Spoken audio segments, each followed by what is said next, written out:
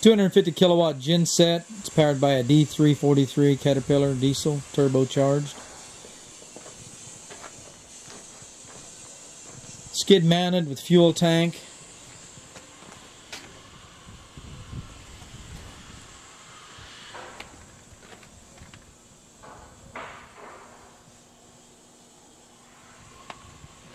Gauges and controls for the engine. Breaker box. Generator controls.